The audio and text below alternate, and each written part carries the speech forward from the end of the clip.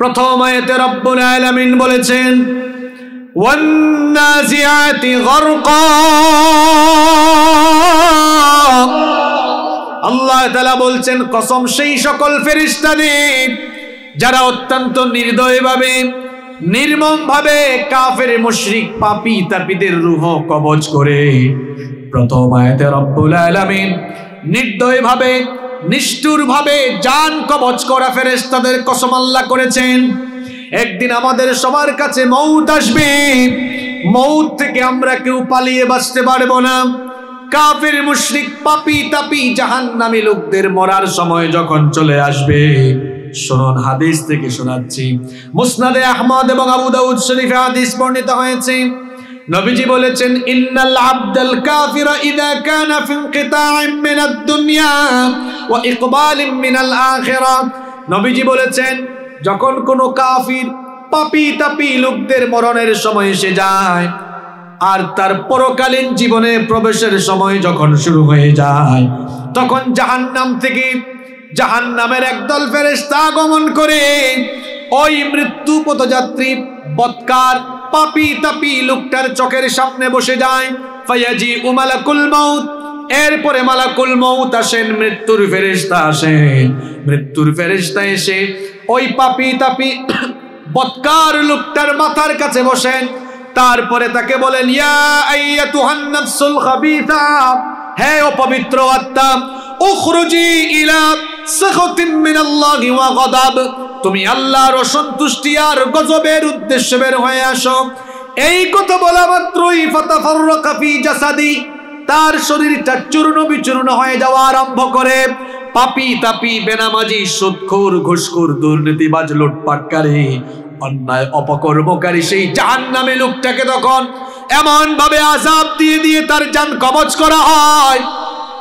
মৃত্যু যন্ত্রণা এত কঠিন তখন হয়। গোটা দুনিয়ার সকল পাহাড় দিয়ে তাকে চেপে রাখলেও যতটা না কষ্ট হবে, তার চাইতে মারাত্মক যন্ত্রণা সে মৃত্যুর সময় অনুভব করবে। আল্লাহ আকবার!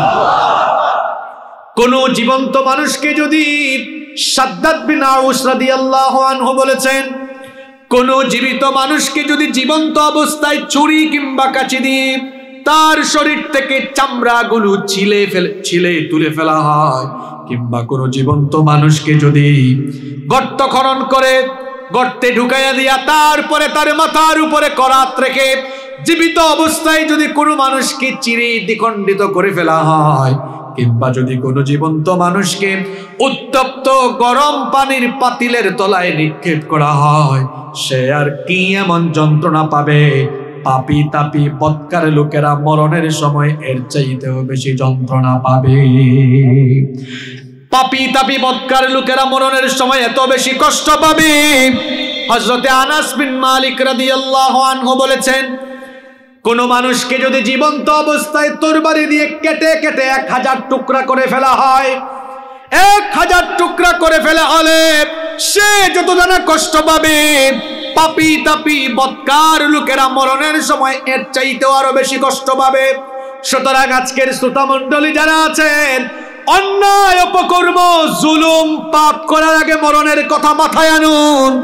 চিন্তা করুন, দুনিয়া থেকে একদিন যাওয়ার সময় সবার কাছে আসবে কিনা? সুতরাং পাপ করার আগে, অন্যায় করার আগে, জুলুম করার আগে ভাই, মরণের কথা চিন্তা করুন। কারণ মরণের সময় আপনি যদি পাপ কাজ করেন, অন্যায় করেন, অপকর্ম করেন, জুলুম করেন, তাহলে মরণটা কিন্তু ভালো হবে না। এমন ভাবে কষ্ট দিয়ে দিয়ে, কষ্ট দিয়ে দিয়ে, যন্ত্রণা দিয়ে দিয়ে মালাকুল মাউত জান কবজ করবেন। মালাকুল মৌত কষ্ট দিয়ে দিয়ে পাপি তাপি বৎকার লোকদের জান কবজ করেন। আল্লাহ তালা সেই সকল ফেরেশতাদের কসম করে সূরাতুন নাজিয়াতের প্রথমে বললেন, ওয়ান নাজিয়াতি গরকা। আল্লাহ তাআলা বলছেন, কসম সেই সকল ফেরেশতাদের যারা অত্যন্ত নির্দয়ভাবে, নিষ্ঠুরভাবে জান কবজ করে। আপনারা যখন কোরআন বুঝে বুঝে পড়বেন, তখন দেখবেন যেখানে আল্লাহ তাআলা দুঃসংবাদ দিয়েছেন, ঠিক পরের আয়াতে আল্লাহ আবার সুসংবাদ দিয়েছেন। এই সুরার বেলায়ও তাই হয়েছে। প্রথম আয়াতে আল্লাহ তাআলা কঠিন কথা বলেছেন, আবার দ্বিতীয় আয়াতে আল্লাহ সুন্দর কথা বলেছেন।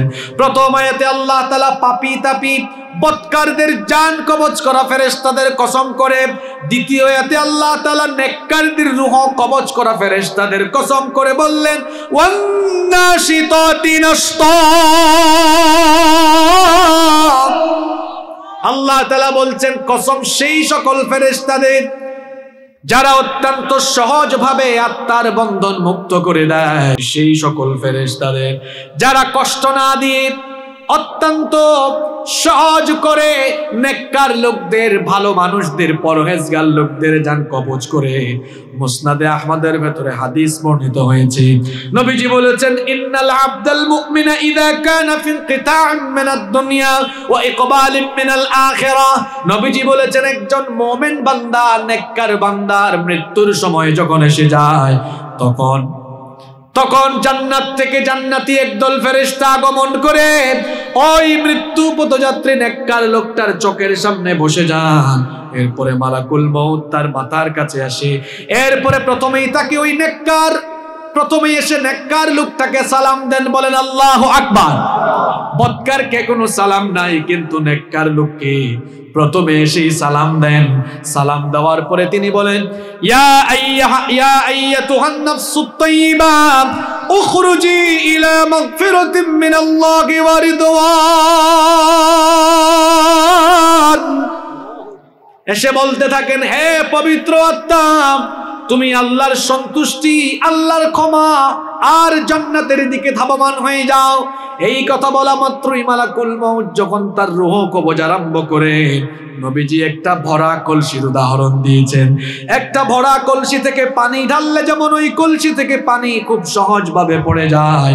নবীজি বলেছেন, ওই নেককার লোকের জান যখন কবজ করা হবে, তখনও সেরকম সহজভাবে তার শরীর থেকে আত্মা দেহটা বের, তার দেহ থেকে আত্মা বের হয়ে আসবে। উদাহরণ দেওয়ার জন্য বলছি, একজন অবুধ শিশু যার জবানে কোনো ভাষা নাই। ক্ষুদা লাগলে সে যেমন চিৎকার করে, কান্নাকাটি করে, তার চিৎকার চেঁচামেচি, কান্নাকাটি শুনে তার মা যখন ওই সন্তানকে সে বুকের সাথে জড়াইয়া ধরে, এরপরে ওই সন্তানটাকে বুকের দুধ পান করায়। আর ওই শিশুটা যেমন বুকের দুধ পান করে করে আরামে ঘুমায়া যায় জান্নাতি লোক যারা নেককার যারা দিনদার যারা তাদের মৃত্যুর সময়ে মালাকুল মৌত তাদের চোখের সামনে যখন জান্নাতের চক্ষু জিরানো দৃশ্য তুলে ধরবে ওই নেককার লোকগুলো জান্নাতের দৃশ্য দেখতে দেখতে আরাম করে তারা ঘুমায়া যাবে। আল্লাহ তাদের কাতারে আমাদেরকে সামিল করে দিও। আরও আসতে বলে না আমি প্রথম আয়াতে আল্লাহ বললেন ওয়ান্নাজিআতি গরকা কসম সেই সকল ফেরেশতাদের, যারা অত্যন্ত নির্দয়ভাবে, নিষ্ঠুরভাবে পাপী তাপীদের জান কবচ করে। দ্বিতীয় আয়াতে আল্লাহ বললেন কসম সেই সকল ফেরেশতাদের যারা সহজভাবে জান কবচ করে। এরপরে তিন নম্বর আয়াতে আল্লাহ বললেন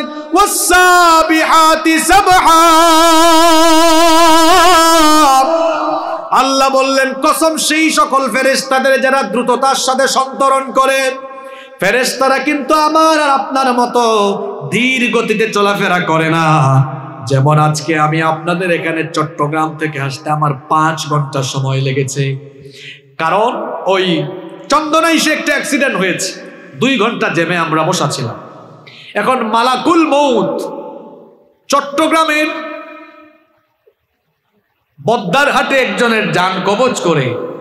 আপনাদের এই বড় হাতিয়া অথবা আপনাদের এই গারাঙ্গি এলাকায় এসে একজনের যান কবচ করবে।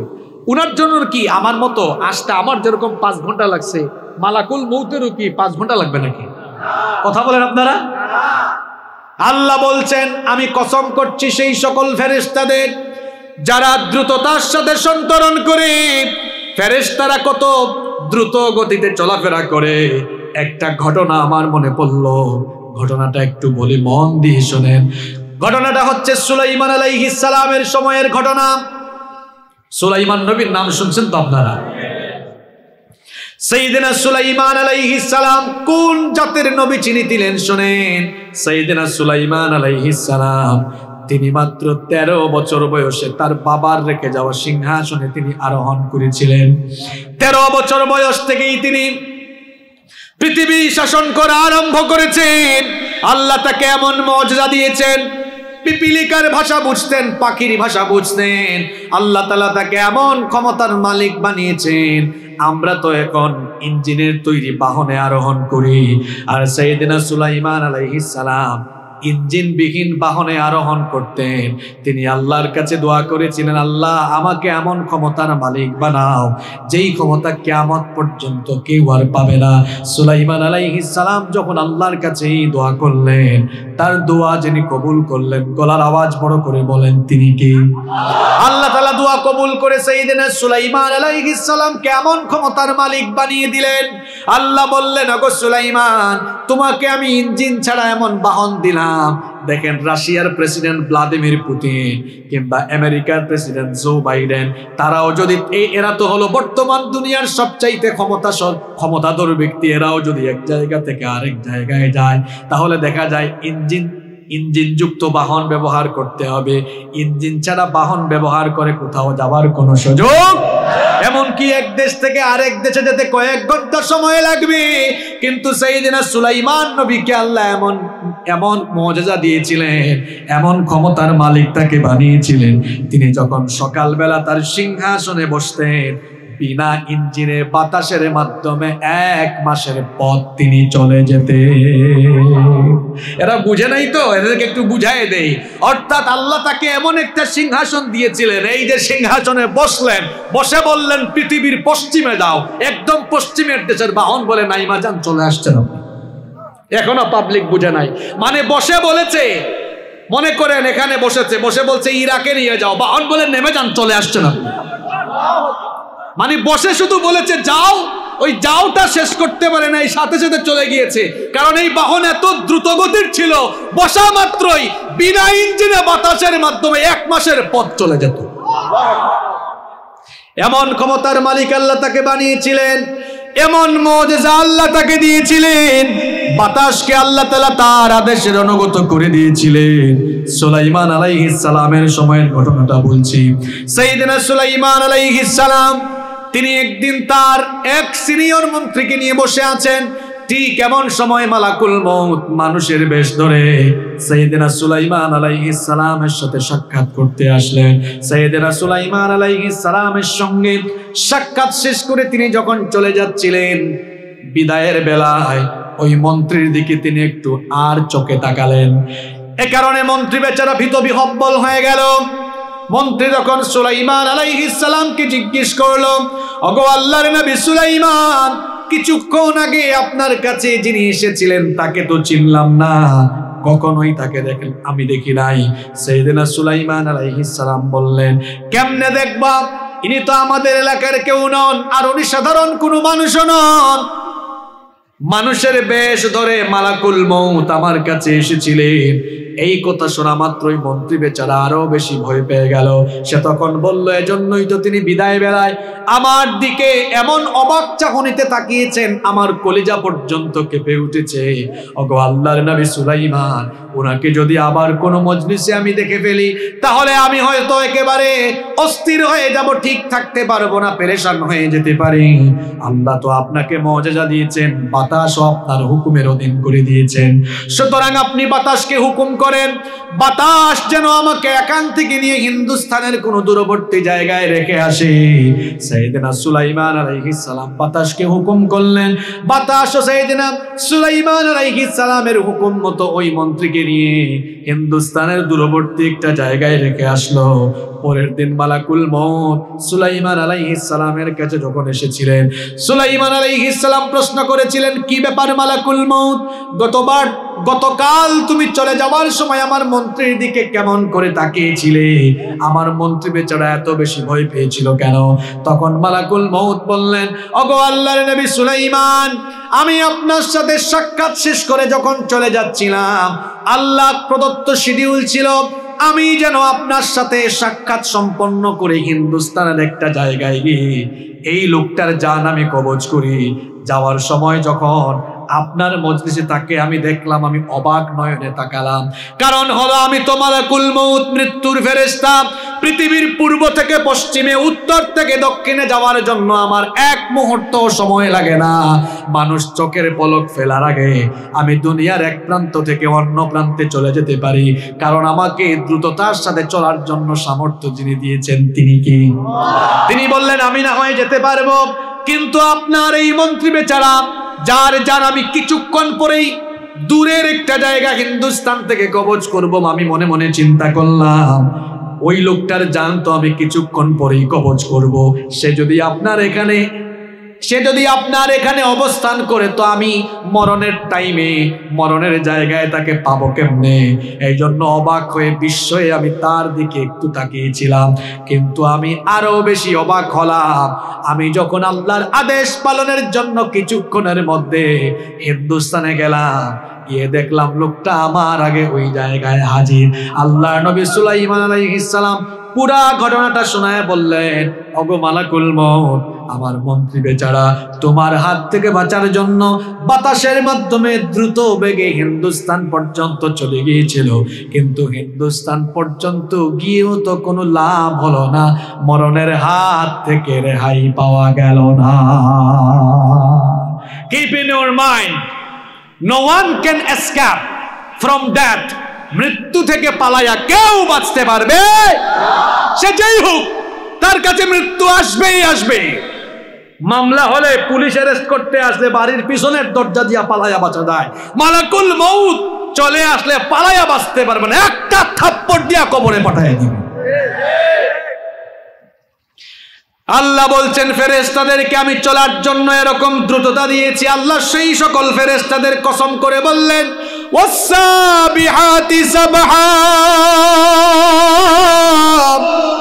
কসম সেই সকল ফেরেস্তাদের যারা দ্রুততার সাথে সন্তরণ করে এরপরে রায়াতে আল্লাহ বললেন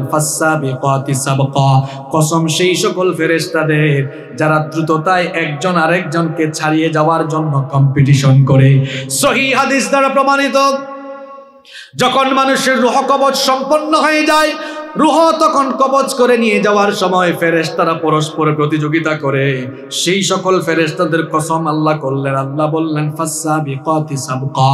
অতঃপর যারা দ্রুততা একজন আর একজনকে ছাড়িয়ে যায়, এরপরে পাঁচ নম্বর আয়াতে আল্লাহ বললেন আমরা।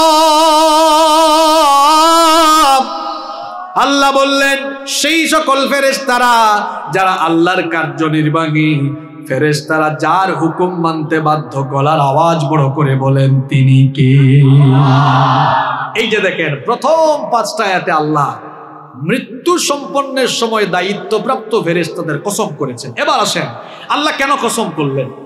আমার আমরাও তো কসম করি আবার আল্লাহও কসম করেন। আমাদের কসম আর আল্লাহর কসম কি একরকম? আমরা তো অনেক সময় সত্য মিথ্যাও কসম করি। কসম করি না? করি।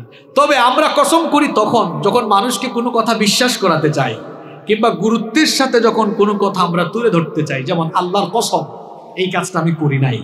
আল্লাহর কসম, ওখানে আমি যাই নাই। আল্লাহর কসম, এটা আমি করি নাই।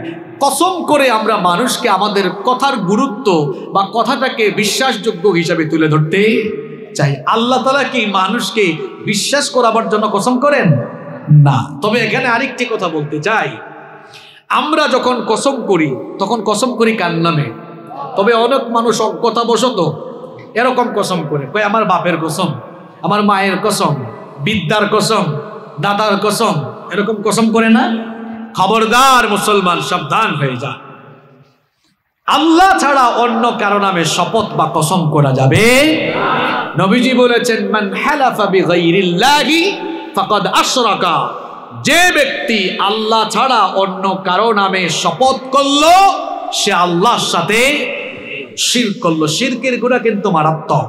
এজন্য শির্ক এবং আরেকটি জঘন্য গুণা বেদাত থেকে আমাদেরকে বেঁচে থাকতে হবে। কর্ণফুলের এই পারে তো দক্ষিণ চট্টগ্রামের কিছু কিছু জায়গায় খুব মারাত্মক অবস্থা। কি বলেন, আছে না নাই?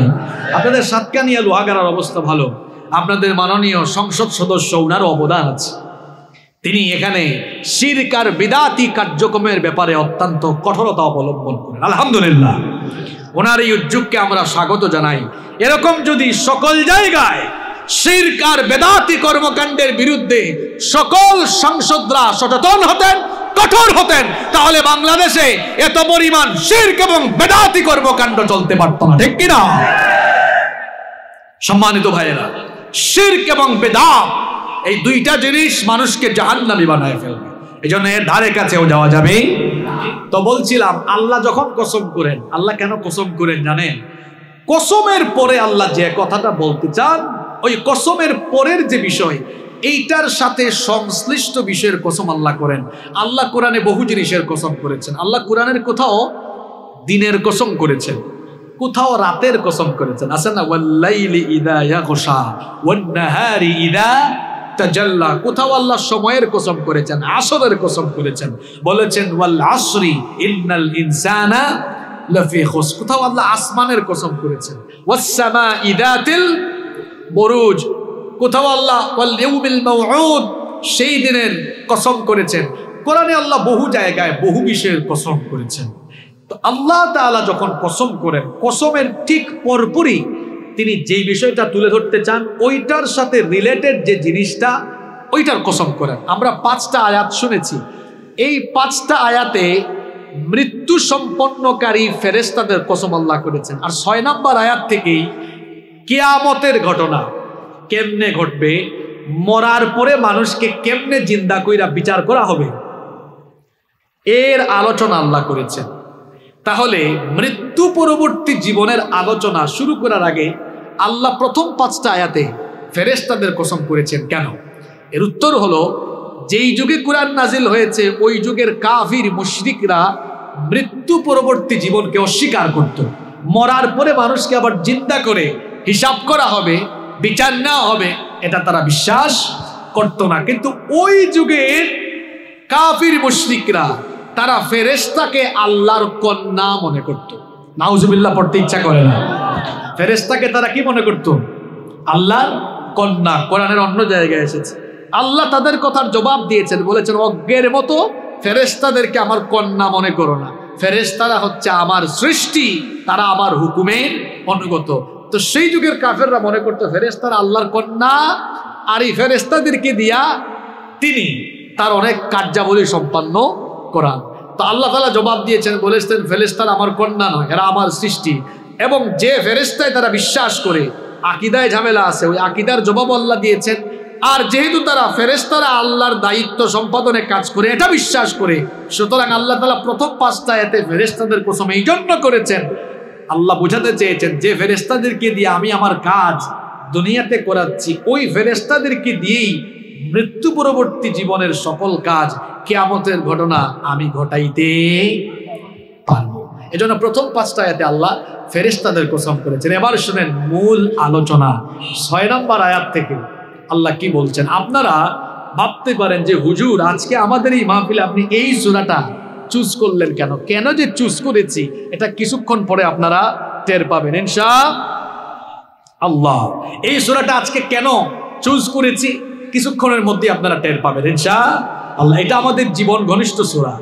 আমাদের হেদায়তের জন্য আমাদের আমল আকলাক ঠিক করার জন্য, অন্যায়, অপকর্মকারী, দুষ্কৃতিকারী, জালিম টাইপের মানুষের হেদায়তের জন্য এখানে মেডিসিন আছে না নাই? প্রথম পাঁচটা আয়াতে আল্লাহ ফেরিস্তাদের কসম করলেন। এরপরে আল্লাহ তালা ছয় নম্বর আয়াত থেকে বলছেন, কেয়ামতের ঘটনা কেমনে উদ্বোধন হবে শোনো? আল্লাহ বলছেন যেদিন প্রথম, যেদিন সিংগায় ফুৎকার দেওয়া হবে যেদিন প্রথমবার সিংগায় ফু দেওয়া হবে, কেয়ামতের ঘটনা ঘটানোর জন্য আল্লাহ তালা একজন ফেরেস্তা বানিয়েছেন। ওই ফেরেস্তার নাম হলো ইসরাফিল। ওই ফেরেস্তাকে বানানোর পর থেকে সেই ফেরেস্তা তার মুখের সামনে সিংহা নিয়ে কান পেতে আছেন। কখন আল্লাহ তাকে আদেশ করেন? আল্লাহ তালা আদেশ করার সঙ্গে সঙ্গে তিনি যখন সিংহায় ফু মারবেন কেয়ামতের ঘটনা তখনই উদ্বোধন হয়ে যাবে। আর আল্লাহর আদেশের পরে ইসরাফিল আলাইহিসালাম সিংহায় ফু মারবেন, মোট দুইবার জুড়ে বলেন কয়বার? আল্লাহ বলছেন, প্রথমবার যখন তিনি সিংহায় ফু দিবেন, তখন দুনিয়াতে বেঁচে থাকা প্রত্যেকটা মানুষের কানের পর্দা ফেটে গিয়ে মানুষগুলো মরে যাবে। আল্লাহ আকবার!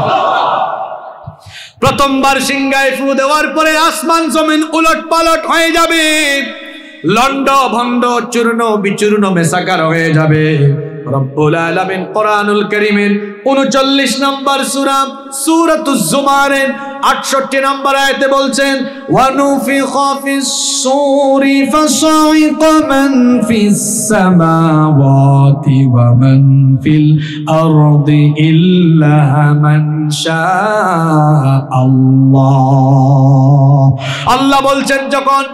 প্রথমবার সিংহায় ফু দেওয়া হবে। আসমান আর জমিনে যা আছে, সবাই তখন মরে যাবে। আর জমিনটাকে প্রথম সিংহায় ফুৎকারের পরে এত মারাত্মক ভাবে কাঁপায়া দেওয়া হবে। এই যে কিছুদিন আগে তুরস্ক আর সিরিয়ার সীমান্তে ভয়াবহ ভূমিকম্প হয়েছে, বাংলাদেশে তখন হয় নাই, পৃথিবীর অন্যান্য জায়গায় হয় নাই। কিন্তু কেয়ামতের ঘটনার আদেশ যখন আল্লাহ দিবেন, যখন ইসরাফিল আলাইহিস সালাম সিংহায় ফু মারবেন একবার সিংহায় ফু দেওয়ার পরে আল্লাহ বলছেন জিলজালাহা। আল্লাহ বলছেন, গোটা জমিনকে একসাথে প্রবল ভাবে প্রকম্পিত করে দেওয়া হবে। একসাথে জমিনটাকে এমন ভাবে কাঁপায়া দেওয়া হবে। কি অবস্থা হবে? কি বিভৎস পরিস্থিতি হবে, শোনেন। রব্বুল আলামিন কোরআনুল কারীমের 73 নম্বর সূরা সূরা মুজাম্মিলের 14 নম্বর আয়াতে বলেছেন, ইয়াউমা তারজুফুল আরদু ওয়াল জিবালু ওয়া কানাতিল জিবালু কাসীবাম মাগিলা। আল্লাহ বলছেন, জমিনটাকে এমন ভাবে কম্পিত করে দেওয়া হবে, এই যে জমিনের উপরে পাহাড় আছে পাহাড় শুদ্ধা জমিনটাকে কি করা হবে শোনেন? আল্লাহ তালা অন্য আয়াতে আরও সুন্দর করে বলেছেন ওয়াহুবিলাতিল আরদু ওয়াল জিবালু ফাদুক্কাতা পাহাড় জমিনটাকে উপরে একটা আছাড় দিয়ে জমিনের সব কিছু চূর্ণ বিচূর্ণ করে দেওয়া হবে। আল্লাহ এই যে জমিনের উপরে আছে আছে, ঢাকা শহরে গেলে দেখবেন বড় বড় টাওয়ার, উঁচু উঁচু বিল্ডিং। প্রবল ভাবে যখন পৃথিবীকে কম্পিত করে দেওয়া হবে, সব বিল্ডিংগুলো চূর্ণ বিচূর্ণ হয়ে মুহূর্তেই মাটির সাথে ধসে যাবে। কিচ্ছু থাকবে না, গাছপালা। এই যে বিশাল বিশাল পাহাড়গুলো আমরা দেখি, এই পাহাড়গুলোর অবস্থা কি হবে শুনেন? আল্লাহ বলছেন, ওয়াকানাতিল জিবালু কাসীবাম মাগিলা। আল্লাহ বলছেন, পাহাড়গুলো বালুর মতো উড়ে যাবে। অন্য আয়াতে আল্লাহ বলেছেন, ওয়াতাকুনুল জিবালু কাল আহনিল মানফুস। দোনা তুলার মতো পাহাড়গুলো উড়ে যাবে। কিচ্ছু থাকবে না সব কিছু ফান হয়ে যাবে। এজন্য আল্লাহ কোরআনে বলেছেন, কুল্লু মান আলাইহা ফান। সব কিছু ফান হয়ে যাবে, ধ্বংস হয়ে যাবে। ক্ষয় হয়ে যাবে, লয় হয়ে যাবে। ওয়ায়াবকা ওয়াজহু রাব্বিকা দুল জালালি ওয়াল ইকরাম। কেবলমাত্র একজন মহামহিয়ান সত্য অবশিষ্ট থাকবেন। গলার আওয়াজ বড় করে বলেন, তিনি কে? কিচ্ছু যখন থাকবে না তখন আল্লাহ বলবেন, ইয়া দুনিয়া। হ্যাঁ দুনিয়া। আইনা আশজারুকি? তোর বুকের উপরে থাকা গাছপালাগুলো কোথায়? আল্লাহ বলবেন, আইনা ইমারুকি? তোর বুকের উপরে থাকা বিশাল বিশাল বিল্ডিং আর টাওয়ারগুলো কোথায়? আল্লাহ বলবেন, আইনা আনহারুকি, তোর বুকের উপরে প্রবাহমান থাকা নদ নদীগুলো কোথায়? আল্লাহ বলবেন, হে দুনিয়া, তোর বুকের উপরে দম্ভ করে অহংকার করে চলা অহংকারী ব্যক্তিগুলো কোথায়? আল্লাহ বলবেন, হে দুনিয়া তোর বুকের উপরে, মানুষের উপরে জুলুম করা, মানুষের উপরে নির্যাতন করা সেই জালিমগুলো কোথায়? আল্লাহ প্রশ্ন করবেন, লিমানিল মুলকুল আল্লাহ জিজ্ঞেস করবেন, আজকে ক্ষমতা কার? এরা তো জবাব দিয়েছেন আল্লাহ। কিন্তু বলেন তো, তখন জবাব দেওয়ার মতো আপনারাও থাকবেন নাকি? কিচ্ছু নাই। আল্লাহ একাই প্রশ্ন করবেন, লিমানিল মুলকুল আজকে ক্ষমতা কার? জবাব দেওয়ার মতো কেউ নাই। আল্লাহ প্রশ্ন করে আল্লাহ এবার জবাব দিবেন। আল্লাহ বলবেন, লিল্লাহিল ওয়াহিদিল আজকে ক্ষমতা চলবে কার? সেদিন ক্ষমতা কারোরই চলবে না। আল্লাহর ক্ষমতা চলবে। মাঝে মাঝে তো আমরা ক্ষমতা পাইয়া দিশেহারা হয়ে যায় হুশ থাকে না, উঠি কি বসি, মরি কি বাঁচি যেমন চাই তাই করি। দিনের বিরুদ্ধে অবস্থান নেই। আরে বেটা, আল্লাহ যেখানে বসিয়েছেন, ওখান থেকে জুতার বাড়ি খাওয়াই আল্লাহ নামাইতেও পারে। সব ক্ষমতার মালিক কে? আল্লাহ বলছেন, দুনিয়ার সব যখন ফান হয়ে যাবে, কিচ্ছু থাকবে না। তখন শুধুমাত্র আমার ক্ষমতা চলবে। আর এই ঘটনার উদ্বোধন হবে একটা সিঙ্গার ফুৎকারের মাধ্যমে। আল্লাহ সেই কথাই এই সূরার 6 নম্বর আয়াতে বলেছেন। আল্লাহ বলছেন রাজিফা। যখন প্রথমবার সিঙ্গায় ফু দেওয়া হবে, তাতবাউহার রাদিফা। এরপরে সেই সিংহাধ্বনি অনুসরণ করে পরবর্তী সিংহায় ফু। অর্থাৎ দ্বিতীয়বার সিংহায় ফু দেওয়া হবে। দ্বিতীয়বার যখন সিংহায় ফু দেওয়া হবে, তখন মানুষগুলো কবর থেকে উঠা আরম্ভ হয়ে যাবে বলেন আল্লাহ আকবার। দ্বিতীয়বার সিংহায় ফু দেওয়ার পরে কবরগুলো খুলে যাবে। কবরে ঘুমায়া থাকা মানুষগুলো উঠে যাবে। কবর থেকে মানুষ উঠে দেখবে, মরার আগে তো আমরা বড় হাতিয়ায় বাস করতাম, গাছপালা, বিল্ডিং সব ছিল।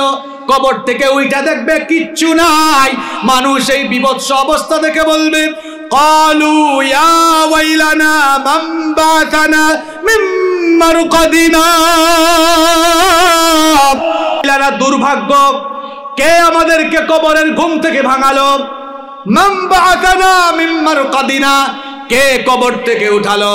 কি বিভৎস পরিস্থিতি আমরা দেখছি। আল্লাহ সুরা জিলজালের মধ্যে বলেছেন, ইদা জুলজিলাতিল আরদু জিলজালাহা যখন জমিনকে প্রবলভাবে প্রকম্পিত করে দিয়ে সবকিছু লণ্ডভণ্ড করে দেওয়া হবে, ওয়া আখরাজাতিল আরদু আসকালাহা এরপরে যখন জমিনের ভেতর থেকে জমিনের ভেতরে থাকা জিনিসগুলোকে বের করে দেওয়া হবে এর একটা ব্যাখ্যা হলো কবরে থাকা মানুষগুলোকে উপরে উঠাইয়া দেওয়া হবে মানুষ কবর থেকে উঠে দেখবে দুনিয়ার কিচ্ছু নাই সব লন্ডভন্ড হয়ে গিয়েছে এগুলো দেখে মানুষ তখন বলবে وقال الإنسان ما لها মানুষ বলবে কি হয়েছে এই দুনিয়ার মানুষ কবর থেকে উঠে বলবে, কে ঘুম থেকে আমাদেরকে জাগালো? আল্লাহ তখন জবাব দিবেন, একটা অদৃশ্য আওয়াজ আসবে। রহমান। এটা হলো রহমানের ওয়াদা করা দিন। রহমান ওয়াদা করেছিলেন, একদিন কিয়ামতের মহাপ্রলয়ঙ্কারী বিভৎস ঘটনা ঘটবে। আজ সেই ঘটনা ঘটে গিয়েছে। হাদামা রহমান। এটা হলো রহমানের ওয়াদা। আর পৃথিবীর আল্লাহ তোমাদের কাছে ঘটনা ঘটবে। নবী রাসূলদের বলা কথাগুলো আজকে সত্য হয়ে গিয়েছে। বলেন তো দেখি, বেনামাজি সুদখোর ঘুষখোর, মানুষের উপরে জুলুমকারী, অন্যায় অপকর্ম অন্যায় অপকর্মকারী লোকেরা কবর থেকে উঠে তারা যখন দেখবে কিয়ামতের মাঠের দিকে যাচ্ছে এই ভয়ঙ্কর অবস্থায় তাদের কলিজায় তখন ভয়টা বাড়বে নাকি কমবে এই শুনেন ভালো করে ভালো করে শুনেন আল্লাহ পরের আয়াত থেকে এবার বলছে قلوب يومئذ واجفة أبصارها خاشعة পাপি তাপিদের কলিজাটা তখন ভীত বিহব্বল হয়ে যাবে এখন তো দুনিয়ায় মানুষের চোখে চোখ রেখে চোখ রাঙাইয়া কথা বলে। আল্লাহ বলছেন, তাদের চক্ষু সেদিন নত হয়ে যাবে। আরে কিয়ামতের দিন বড় বিভীষিকাময়। আল্লাহ নবী বলেছেন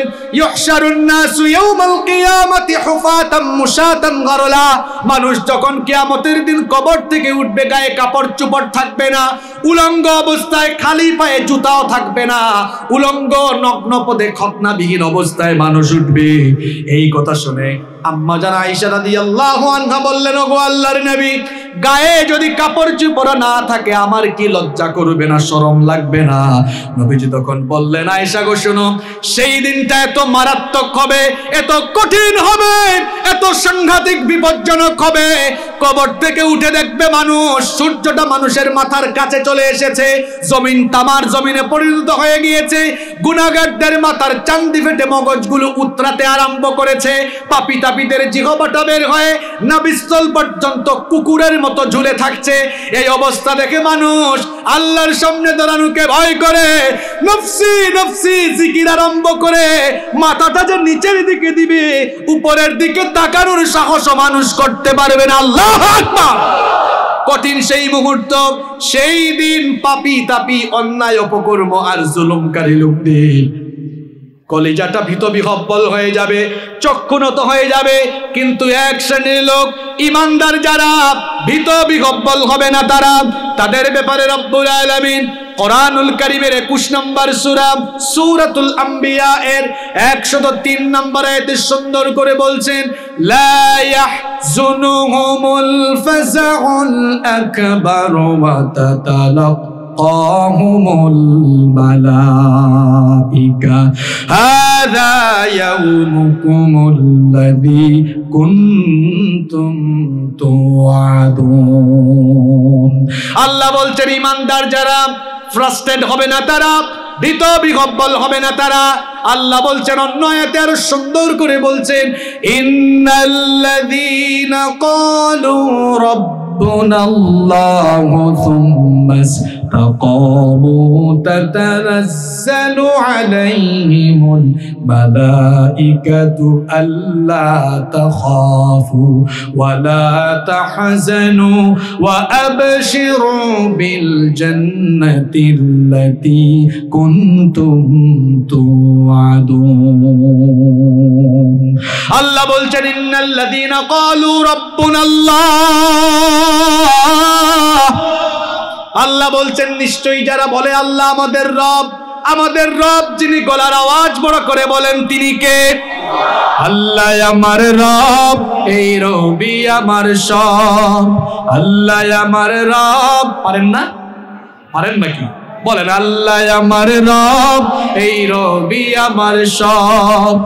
আল্লাহ আমার রব, এই রবি আমার সব। দমে দমে তনু মনে তারি অনুভব। আল্লাহ আমার রব, এই রবি আমার সব। তোমার দুনিয়াতে আমি যেদিকে তাকাই, অতই নিয়ামাতে ডুবে আছি সবাই। পাক পাখালির গানে শুনি তসবি কলরব তসবি কলরব আল্লাহ আমার রব, এই রবি আমার সব। আল্লাহ আমার রব, এই রবি আমার সব। বলেন আল্লাহ আকবার। আল্লাহ বলছেন নিশ্চয়ই যারা বলে আল্লাহ আমাদের রব আর ওই রবের পথে যারা অবিচল থাকে ইস্তেকামাত থাকে ফেরেশতারা তাদেরকে বলবে ও আল্লাহর বান্দা তোদের জন্য কোনো ভয় নাই তোদের জন্য কোনো টেনশন নাই। আল্লাহর জান্নাতে ঢোকার জন্য তোমরা প্রস্তুত হয়ে যাও। আল্লাহ তাদের কাতারে আমাদেরকে সামিল করে দিও। আরও আসতে বলে না আমিন। আল্লাহ বলছেন কাফের মুশরিকরা পাপি তাপি জাহান্নামীরা কেয়ামতের দিন কবর থেকে উঠে বলবে, হায় রে হায়, আমাদের ভয় তো আরও বেড়ে গেল, বিপদ আরও বেড়ে গেল। কারণ দুনিয়ায় যত অপকর্ম করেছে, অন্যায় করেছে, সেই অন্যায় অপকর্মের হিসাব দুনিয়াতে ভালো ফলাফল না পেলেও, চূড়ান্ত ফলাফল, চূড়ান্ত শাস্তি না পেলেও, চূড়ান্ত শাস্তি কেয়ামতের দিন আছে না নাই? আরও জুড়ে বলে আছে না নাই? কাফেররা বলতো, ইয়াকুল, আল্লাহ পরের আয়াতে বলছেন, ইয়াকুলুনা ইন্না লামারদুদুনা ফিল হাফিরা, আইদা কুন্না আইদামান তারা বলতো, তাহলে কি আমরা মরার পরে, মরে যাওয়ার পরে আবার কি পূর্বের অবস্থায় ফিরে যাব নাকি? অর্থাৎ আমাদের অস্থি, পিঞ্জর, হাড্ডি, গুড্ডি সব আলাদা হয়ে যাওয়ার পরে আবার কি আমাদেরকে পুনরায় চিন্তা করা হবে নাকি? সেই যুগের কাপের মুশিকরা বলতো, কলু আইদা মিথ্যা متنا وكنا ترابا وعظاما أئنا لمبعوثون কোরআনুল কারীমের 23 নম্বর সূরা সূরাতুল মুমিনুনের 82 নম্বর আয়াতে আল্লাহ তাআলা বলছেন তারা বলতো আমরা যখন মরে যাব আমাদের দেহ যখন মাটি খেয়ে ফেলবে মাটি যখন ভক্ষণ করে ফেলবে যখন আমাদের শরীরের হাড্ডি মাংস সব মাটির সঙ্গে মিশে যাবে কে আবার আমাদেরকে চিন্তা করবে? এই যুগেও এরকম বহু মানুষ আছে যারা অন্যায় অপকর্মের সাথে জড়িত।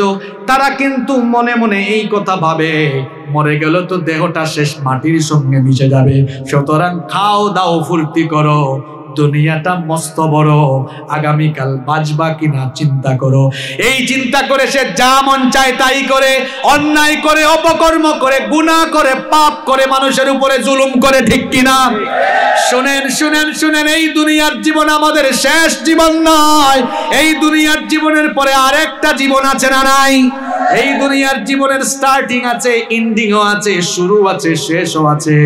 কিন্তু দুনিয়ার জীবনের পরে যে জীবনটা শুরু হবে, ওই আখেরাতের জীবনের শুরু হবে, কিন্তু শেষ হবে যারা মনে করে আমরা তো মরে যাব, মরার পরে কি করে আমাদেরকে চিন্তা করা হবে?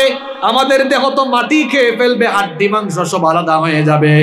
চূর্ণ বিচূর্ণ হয়ে যাওয়া অস্থি পিঞ্জর হাড্ডি গুড্ডিকে কেমনে জোড়া লাগাইয়া আবার জিন্দা করা হবে? আল্লাহ তালা কোরআনে কারিমে এগুলোর খুব সুন্দর করে জবাব দিয়েছেন। রব্বুল আলমিন এই কথাগুলোর জবাব কোরআনুল কারিমে বড় চমৎকার করে দিয়েছেন, সেগুলো বলার আগে সুন্দর একটা ঘটনা আপনাদেরকে শোনায় ঘটনাটা কি বলব? ঘটনাটা বলব? কোরআন থেকে ঘটনাটা শুনে, এটা আমাদের সবচেয়ে পছন্দের সুরা সুরা ইয়াসিনের আটাত্তর নম্বর আয়তে ঘটনাটা এসেছে। তফসিরে কুর্তুবির ভেতরে এসেছে, এই ঘটনাটি কোন কোন রেওয়ায়তে এসেছে। আসিব নোবাইল, কোন কোন রেওয়ায়তে এসেছে, উবাই বিন খালফের সম্বন্ধে নাজিল হয়েছে। বেশিরভাগ রেওয়ায়তে এসেছে আসিব নোয়াইল তিনি একদিন মক্কার উপত্যকায় হাঁটতেছিলেন হাঁটতে হাঁটতে হাঁটতে হাঁটতে হঠাৎ করে তার চোখের সামনে তিনি চরাজীর্ণ কিছু হাড্ডি দেখলেন। কি দেখলেন? ওই হাড্ডি তিনি তার হাতে নিলেন। হাতে নিয়ে আলতো করে একটা মুচড়ি দিলেন। সঙ্গে সঙ্গে হাড্ডিটা গুড়া গুড়া হয়ে গেল। তখন তার মাথায় আসলো, আমাদের কাছে যে মোহাম্মদ বলেন সাল্লাল্লাহু এই সাল্লাম তিনি যে বলেন আমরা এমনকি আমাদের বাপদাদারা যারা দুনিয়া থেকে চলে গিয়েছেন, তাদেরকে আবার নাকি জিন্দা করে হিসাব নেওয়া হবে। তো আমার তো মাথায় ধরে না, এই যে একটা হাড্ডি এখানে পাইলাম। মনে হয় কোনো মানুষের লাশ এখানে বহুদিন ছিল। এই জরাজীর্ণ হয়ে যাওয়া হাড্ডিটাকে হাতে নিয়ে আমি গুড়া গুড়া করে ফেললাম। তো এখন গুড়া গুড়া হয়ে যাওয়া। এই হাড্ডির টুকরাটাকে আবার আগের অবস্থায় নিয়ে হাড্ডি মাংস অস্থি পিঞ্জরা একত্রিত করে কেমনে আবার এটাকে জীবিত করা হবে তার মাথায় ধরে না এই জন্য তার হাতের মধ্যে গুড়া গুড়া সেই হাড্ডিগুলো নিয়ে সে নবীজির কাছে গেল নবীজির কাছে গিয়ে কি বলল আল্লাহ সুরাই ইয়াসিনের আটাত্তর নাম্বার আয়াতে সেই ঘটনাটা বর্ণনা করছেন আল্লাহ তালা বলছেন সে গিয়েছিল গিয়ে কি বলছে শোনো وضرب لنا مثلا ونسي خلقه قال من يحيي العظام وهي رميم الله أكبر বলো আল্লাহ বলছেন وضرب لنا مثلا ونسي خلقه সে আল্লাহর সৃষ্টি সম্পর্কে উপমা পেশ করে অথচ সে তার নিজের সৃষ্টি ভুলে গিয়েছে সে গিয়ে নবীজিকে বলেছে মান ইউহয়িল ইযামা ওয়া হিয়া রামীম এই হাড্ডি গুড়া গুড়া হয়ে গিয়েছে কে এটাকে জিন্দা করে প্রশ্ন করেছে নবীজিকে, নবীজি কি নিজে নিজে বানায়া বানায় কোনো কথা কন? নবীজি তাই বলেন, আল্লাহ যা নবীজিকে বলতে নবীজিকে যখন এই প্রশ্ন করল, নবীজি চুপচাপ আল্লাহ আয়াত নাজিল করলেন। আল্লাহ তালা বললেন ও নবী, আপনি তাকে জবাবটা এইভাবে দেন জিব্রিল এসে শুনে দিলেন, ও নবী, তাকে বলেন, কুল ইউহয়িহাল্লাযী আনশাআহা আউওয়ালা মাররা ওয়া হুয়া বিকুল্লি খালকিন আলীম। আল্লাহু আকবার। দেখেন দেখেন দেখেন, শোনেন, কি সুন্দর জবাব। আল্লাহ বললেন, নবী তাকে বলেন, এটাকে প্রথমবার বানিয়েছিলেন যিনি পুনরায় এটা আবার এটা আবার সৃষ্টি করবেন তিনি। আপনাদেরকে বোঝানোর জন্য আমি বলি, আমার হাতে এটা কি? বলেন বলেন কি? চট্টগ্রাম শহরের ব্যবসা বাণিজ্য তো আপনাদের দখলে। হুম? অনেকের হয়তো ব্যবসা বাণিজ্য আছে, মোবাইলের ব্যবসা আছে নাকি কারও? কার? হাত তুলেন তো? মাশাআল্লাহ, আছে কয়েকজন। ঠিক আছে, হাত নামান। আচ্ছা আমার দিকে তাকান, বুঝাই দিই আপনাদেরকে, খুব সুন্দর বুঝবেন আপনারা। এই মোবাইলটা মনে করেন নষ্ট হয়ে গেল। নষ্ট হওয়ার পরে আপনি মেকানিকের কাছে গেলেন। মেকানিকই তবু না, কি বলে এদেরকে? মেকানিক সে কি করল? এটা খুলে ফেলল নাট টাট খুলে। একদম সব আলাদা আলাদা করে ফেলল। এখন আপনি, আমি সাধারণ মানুষ, আমরা দেখে বলি, হায় হায়, সব দিকে আলাদা। সে তার কাজকাম করে দেখা যায় কিছুক্ষণ পরে সব জিনিসকে আবার ফিটিংস দিয়ে বলে নেন ভাই, আপনার মোবাইল ঠিক হয়ে গেছে। ঠিক না? আচ্ছা। গাড়ি ইউজ করেন, এখানে অনেকে আছেন না, ব্যক্তিগত গাড়ি ব্যবহার করেন। গাড়ি ডেন্টিং এ দিলে ডেন্টের মানুষ দেয় না ডেন্টিং এ সব খুলে ফেলে একদম। মিস্ত্রিরা, গ্যারেজের মিস্ত্রিরা খুইলা পার্টসগুলো আলাদা কইরা ফেলে।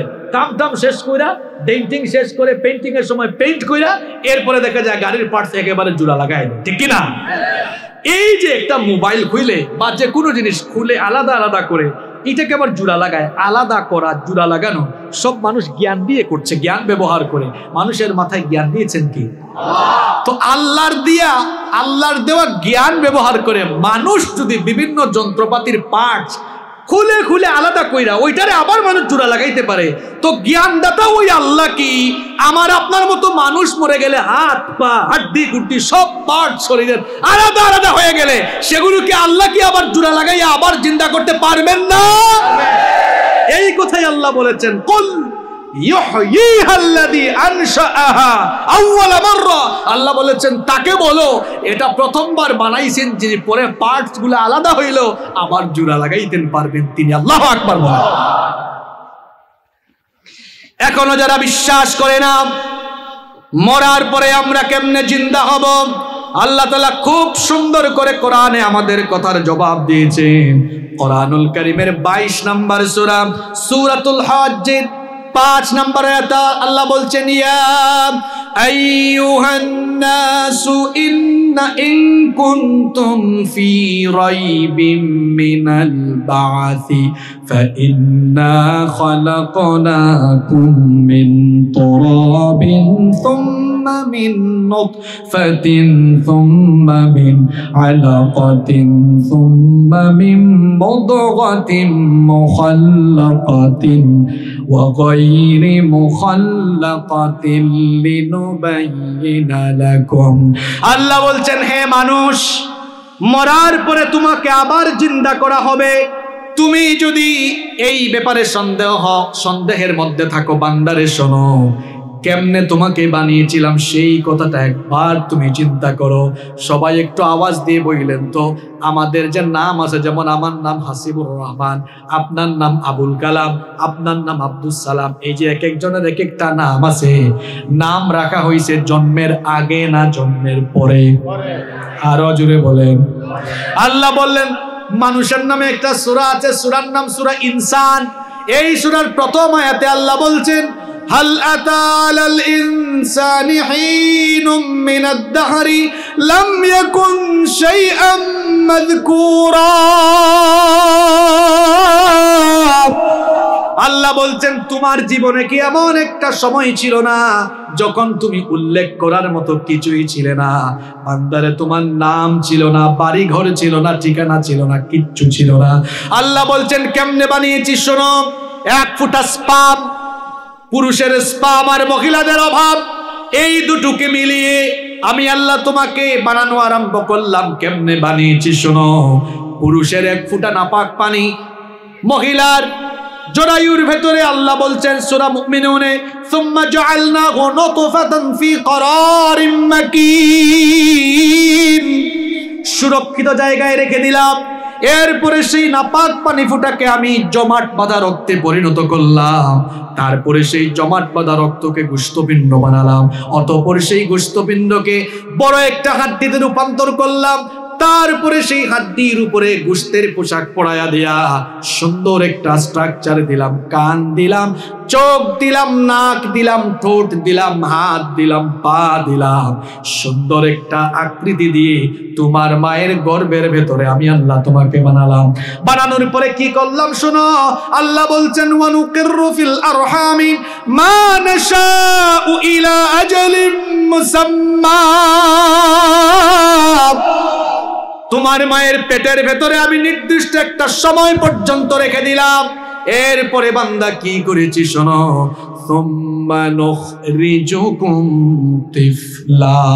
এখন তুমি পাঁচ ফিট সাত ইঞ্চি, নয় ইঞ্চি, ছয় ফিট দুই ইঞ্চি, তিন ইঞ্চি, সত্তর, আশি, নব্বই কেজি ওজনের মানুষ। কিন্তু মায়ের পেট থেকে আমি তোমাকে ছোট্ট বাচ্চার সাইজে বের করেছি। আল্লাহ বললেন, বান্দারে, যেখানে তুমি কিছুই ছিলে না, বেশি লাফালাফি করো। বাহাদুরি দেখাও, অহংকার করো, ক্ষমতার বাহাদুরি দেখাও। এমন এক ফুটা নাপাক পানি থেকে বানাইছি তোমাকে, যে নাপাক পানি বের হয়ে গেলে মানুষের উপরে কুশল ফরজ হয়ে যায়। সেই নাপাক পানি থেকে আমি তোমাকে ধীরে ধীরে ধীরে ধীরে পর্যায়ক্রমিক ভাবে বানায়া আমি যদি তোমাকে ছোট্ট বাচ্চার আকারে দুনিয়াতে আনতে পারি, আল্লাহ বলছেন আলা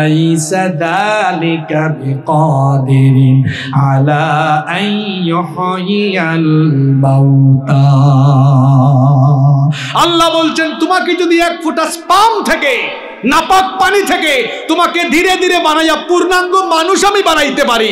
তো আমার মতো সেই শক্তিশালী, মহান, ক্ষমতাবান রব তোমার মতো বান্দা মারা গেলে তোমাকে আমি আবার চিন্তা করতে পারব, ঠিক কিনা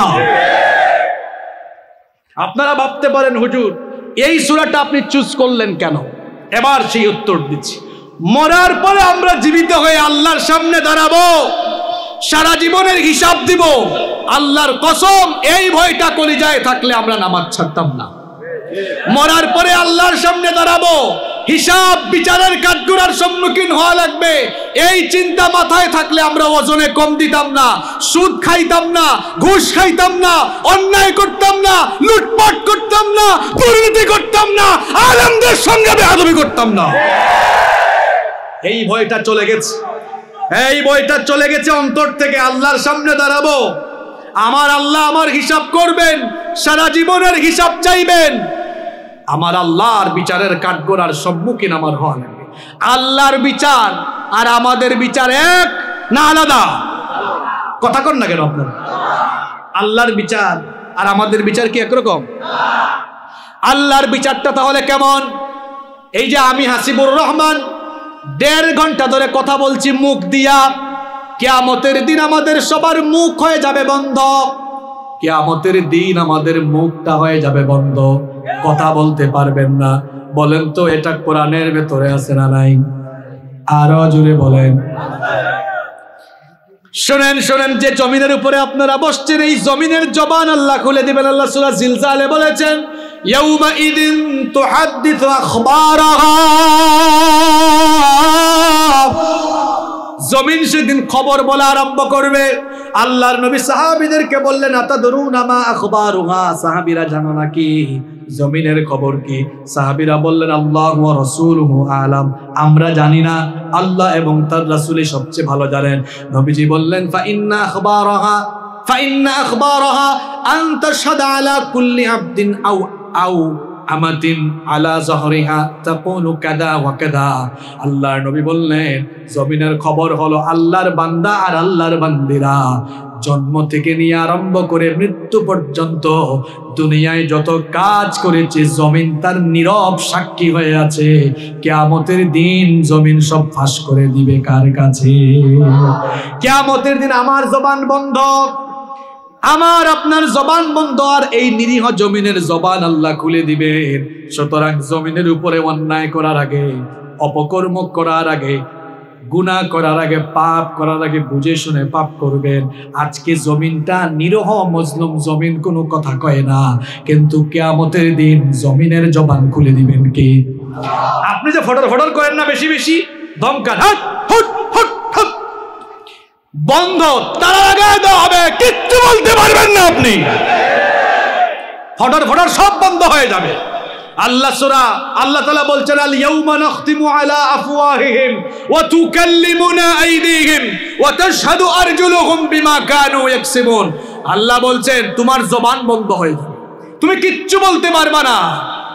দেখেন, আমরা দুনিয়াতে যা করছি, আল্লাহ সব জানেন কিনা? কথা কর না কেন আপনারা? কিন্তু আল্লাহ একতরফা বিচার করবেন না। আপনি যে অপরাধী, অপরাধীর অপরাধ আল্লাহ প্রমাণ কইরা দিবেন। দুনিয়ার বিচারের সাথে আল্লাহর বিচারের মিল নাই।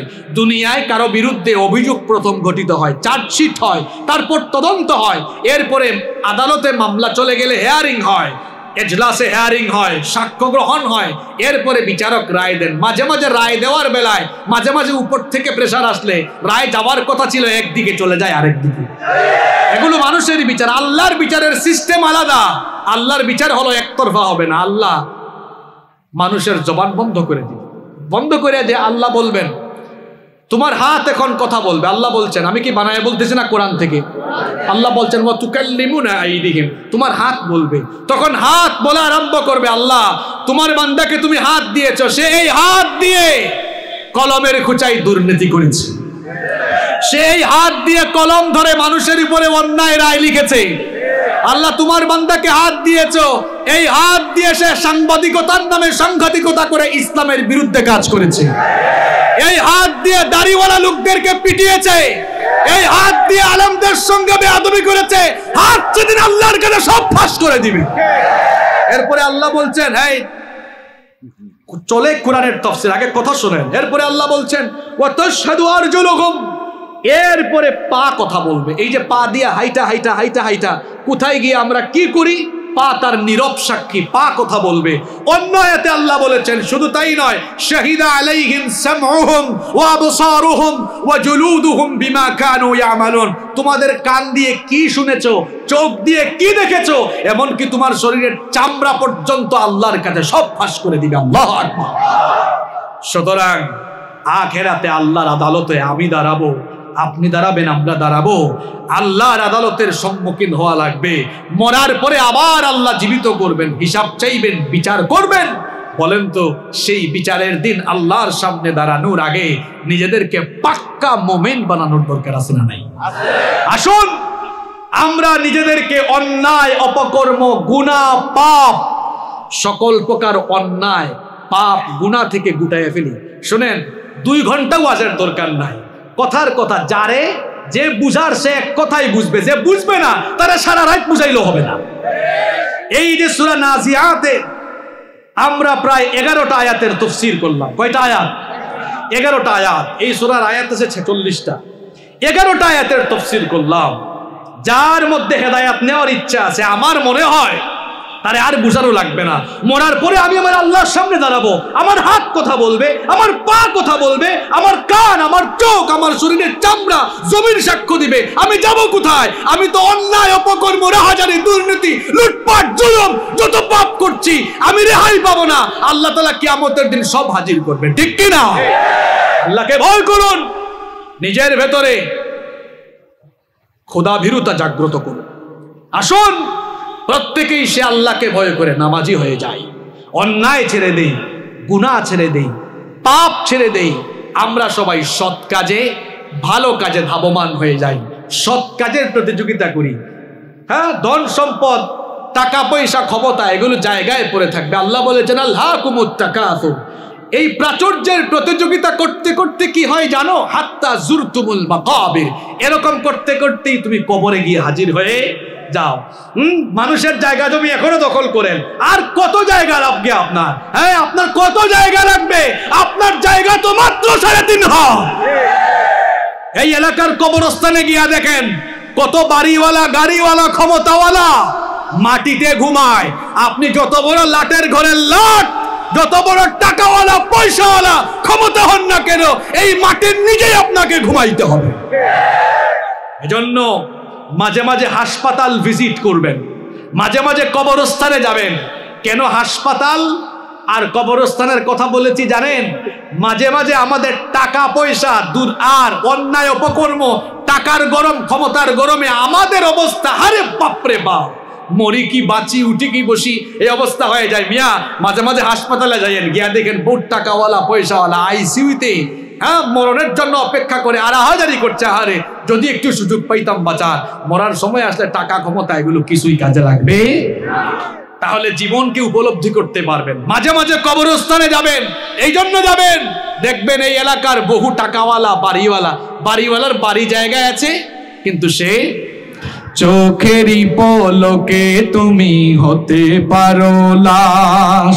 চিরতরে বন্ধ হবে তোমার নিঃশ্বাস। হবে এলান তোমারই নাম মসজিদের মাইকে। হবে এলান তোমারই নাম মসজিদের মাইকে। বাড়িওয়ালা নাই রে, বাড়ি নাই রে দুনিয়াতে।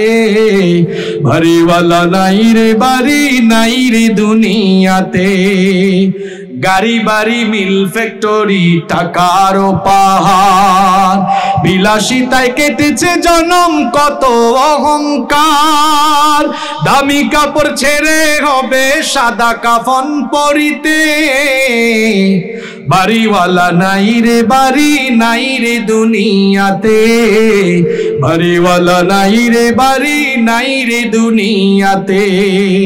যাদের সাথে চলতে তুমি থাকতে দিবা নিশি জানা যায় শরিক হবে তোমার প্রতিবেশী, স্বজনেরা নিয়ে যাবে তোমাকে পালকিতে। বাড়িওয়ালা নাই রে, বাড়ি নাই রে দুনিয়াতে। বাড়িওয়ালা নাই রে, বাড়ি নাই রে দুনিয়াতে। বাড়িওয়ালা নাই রে, বাড়ি নাই রে দুনিয়াতে। বাড়িওয়ালা নাই রে, বাড়ি নাই রে দুনিয়াতে। আল্লাহ আকবার। আল্লাহর নবী কম কথা বলতেন, বেশি কথা বলা নবীর সুন্নত ঠিক কি না? যা আলোচনা করেছি, আল্লাহ আমাদেরকে আখেরাতমুখী জীবন গঠনের তৌফিক দেন।